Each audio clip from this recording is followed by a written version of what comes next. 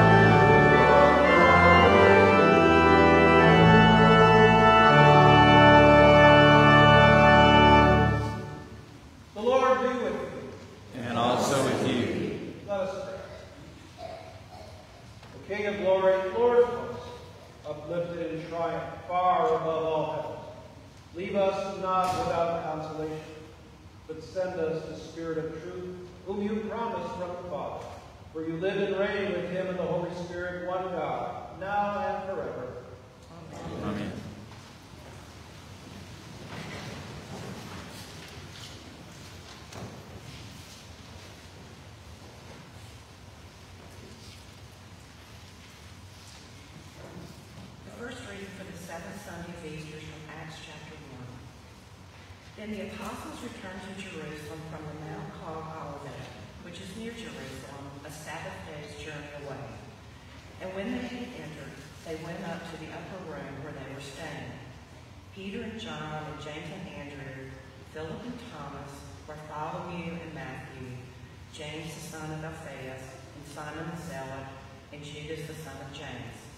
All these with one accord were devoting themselves to prayer together with the women and Mary, the mother of Jesus, and his brothers. In those days, Peter stood up among the brothers.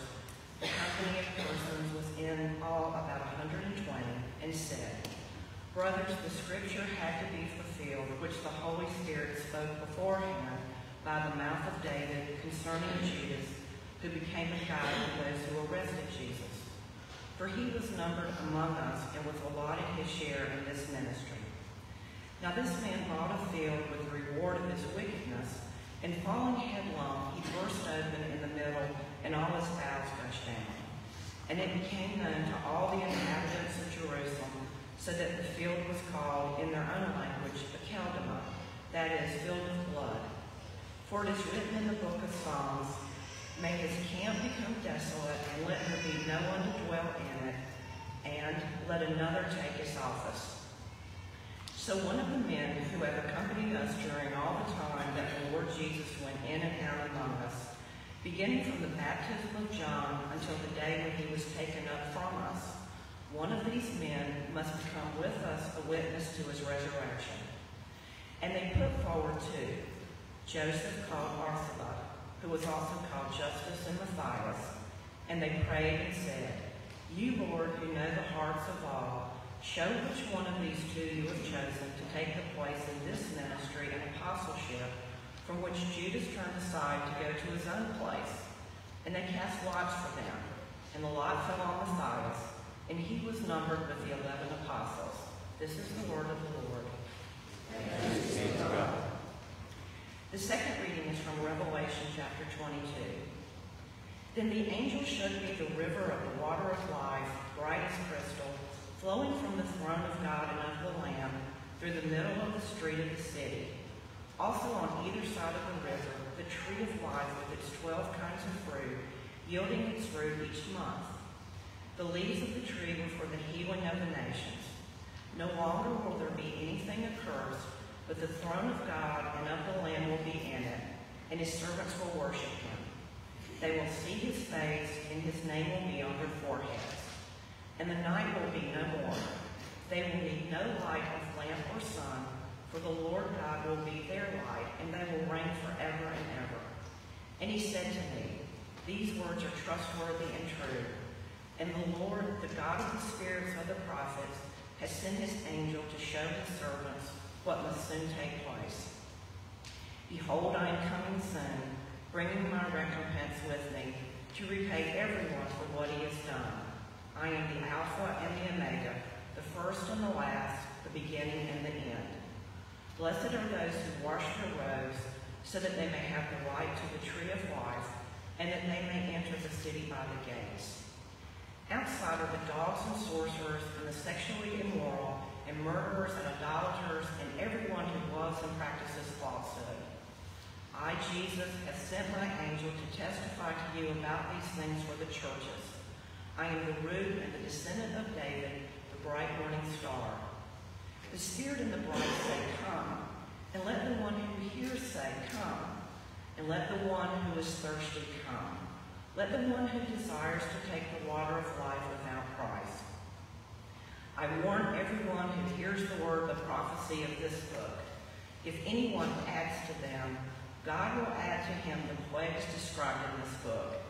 And if anyone takes away from the words of the book of this prophecy, God will take away his share in the tree of life and in the holy city, which are described in this book. He who testifies to these things says, says Surely I am coming soon. Amen. Come, Lord Jesus. This is the word of the Lord. The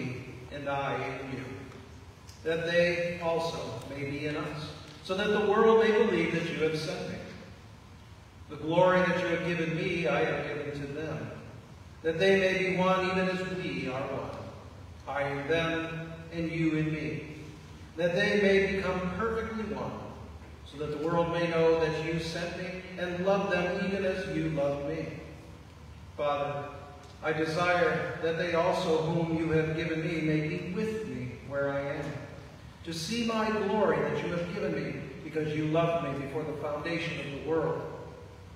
O righteous Father, even though the world does not know you, I know you. And these know that you have sent me. I made known to them your name, and I will continue to make it known, that the love with which you have loved me may be in them and I in them. This is the gospel of the Lord. Praise to you, O Christ.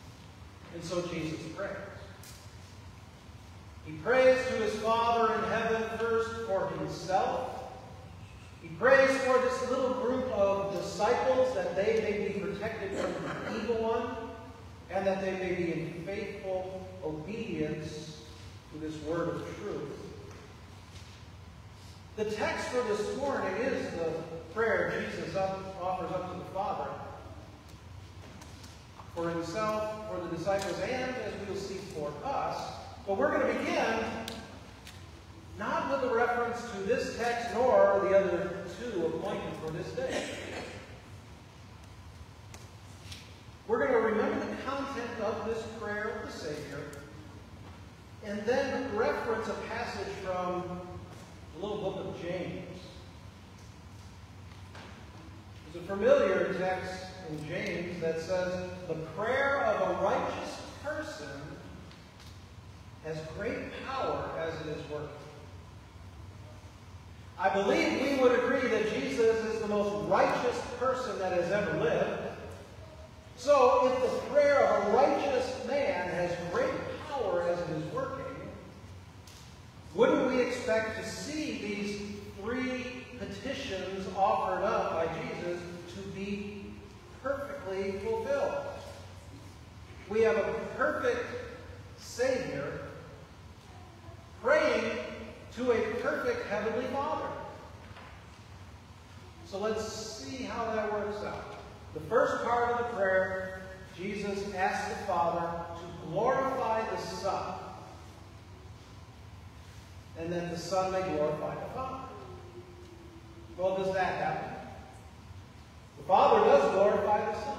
He sends the Son with all the authority on heaven and earth the, the authority of all the Godhead, and that comes to live among us.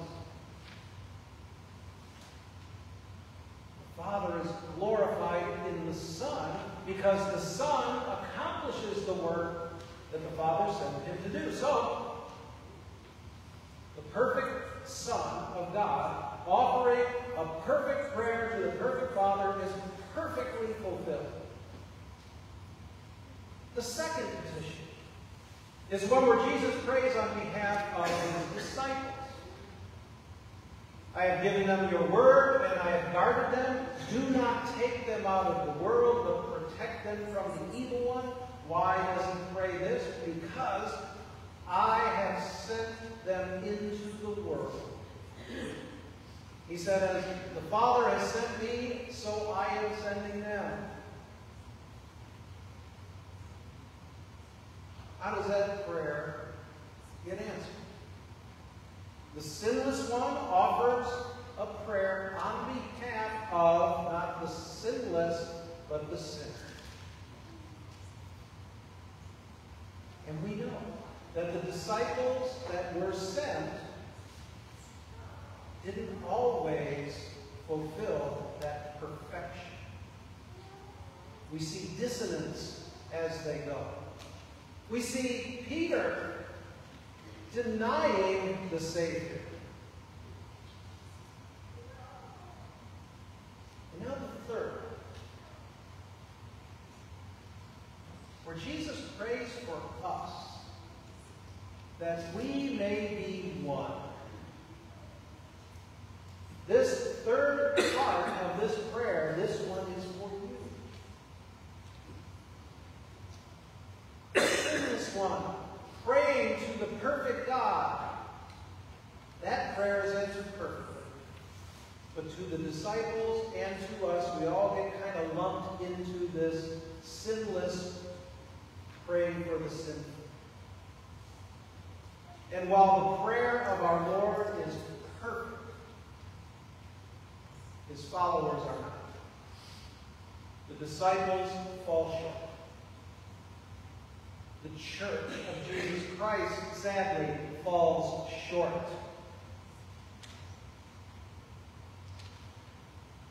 Jesus prayed that we would be one.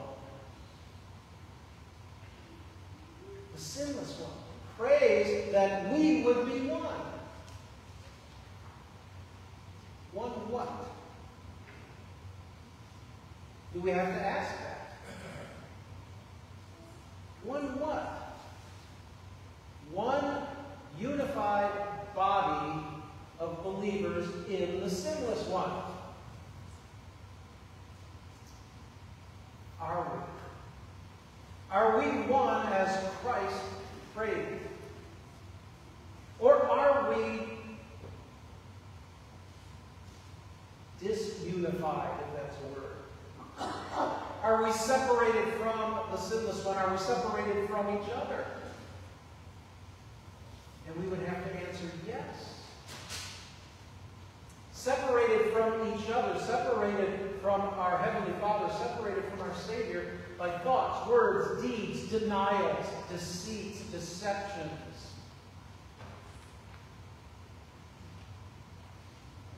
Jesus said he prays that we would be one. One what? One as we confess. One holy Christian apostolic church. One unified body. Unified only in Christ. Unified in that oneness that He brings, in that perfection that He brings. And He brings that perfection in the midst of our imperfections so that we would understand the extent of God's love. A love that goes to the cross. A love that dies. And a love that continues to give. Is what we call sacrificial love. And certainly Memorial Weekend, that word comes up a lot. Sacrifice. And I think it's okay from this oneness of who we are to remember and to thank God for those who gave of themselves, especially those who gave everything. A lot of times military people who have gone through those things are very resistant to speak of them. But I want to relate one story that I heard from a Vietnam veteran, a former Marine, told the story of an unusually frightful experience he had.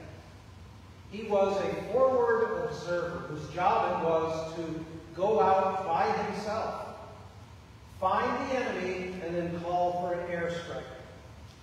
One day he was hiding in his position deep, deep in enemy territory, and he found himself surrounded by a huge contingency of North Vietnamese soldiers, literally marching all around him. He could have let them pass, but he called for the airstrike. Devastating airstrike. Miraculously, he was not hurt.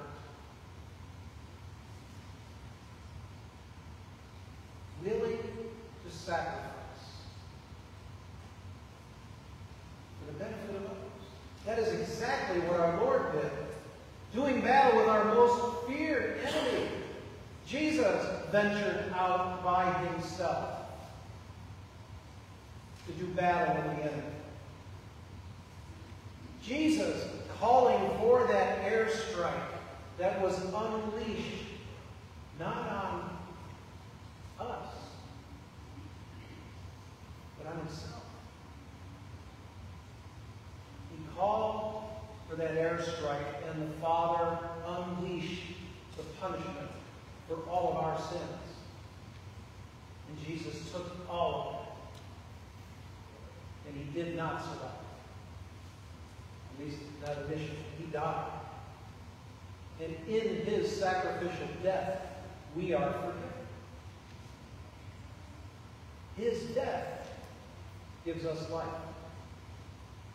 And our baptism into his death and resurrection is our resurrection. It's our forgiveness and our resurrection. And Jesus prays. The perfect one intercedes for us. Father, protect them by the power of your name, the name you gave me. The preserving and protecting name of Christ has been placed upon us. The old sinful nature drowned. The newness of life that is now lived in beautiful response to the one who promises to protect us and preserve us for all eternity. I know that school is out, but I got one last quiz for you. It's for everybody. A little Memorial Day quiz. The world will little note nor long remember what we say here, but it can never forget what they did here. A line from what? First service got it. Thank you. Gettysburg Address, Abraham Lincoln. He was wrong on one part. We have remembered what he said. But on the other hand, he was right. We haven't forgotten what they did. Nor have we forgotten what others have done. And we dare not forget what Christ has done. We simply cannot forget what Christ has done for us.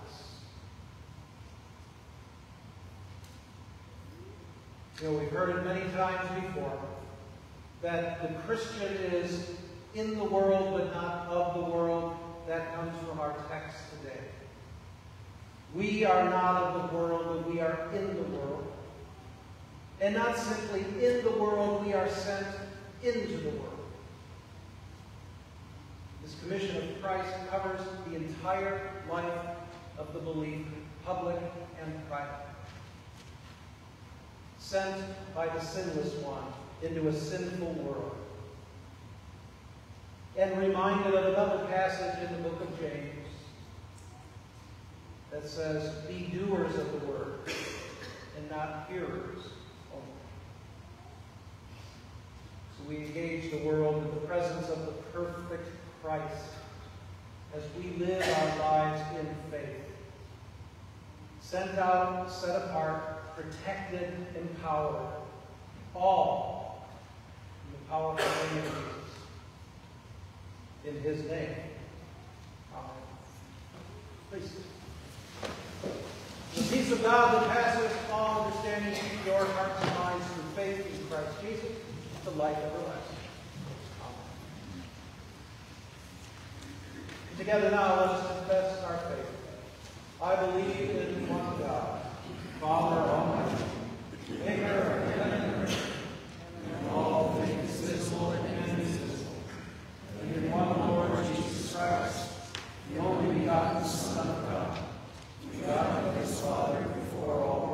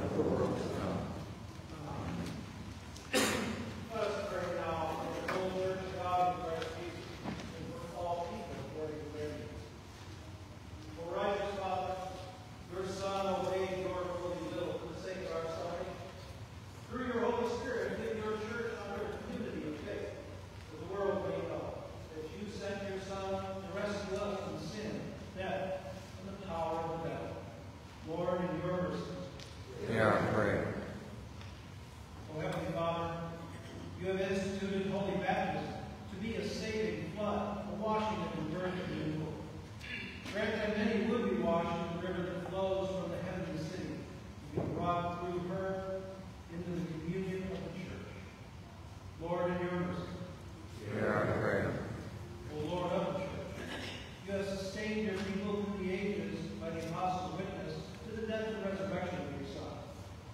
Continue to raise up from among us faithful pastors in every age. Keep our missionaries, pastors, overseers, faithful to you in all things. Lord, in your mercy. Hear. O Lord God, you have placed us in communities and families where we are nurtured and we can grow in that knowledge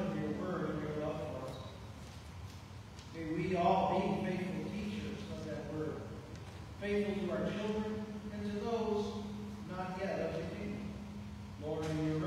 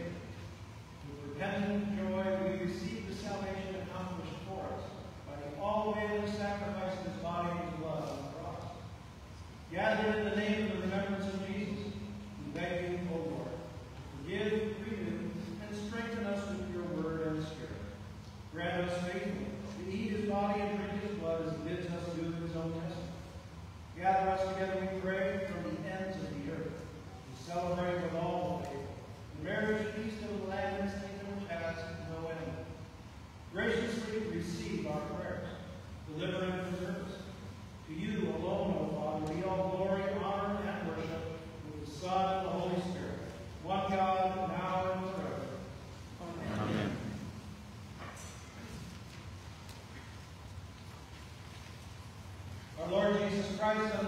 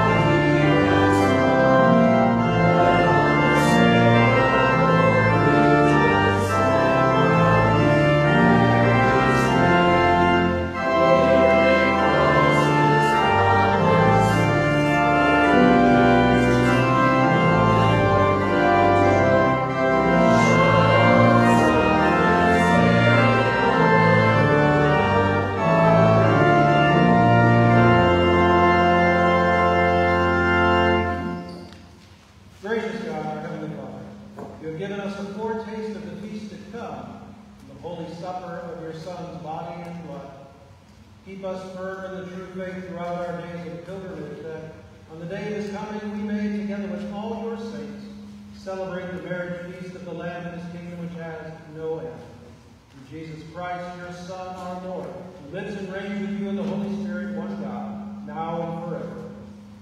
Amen. The Lord bless you and keep you. The Lord make his face shine upon you and be gracious to you. The Lord lift his countenance upon you and give you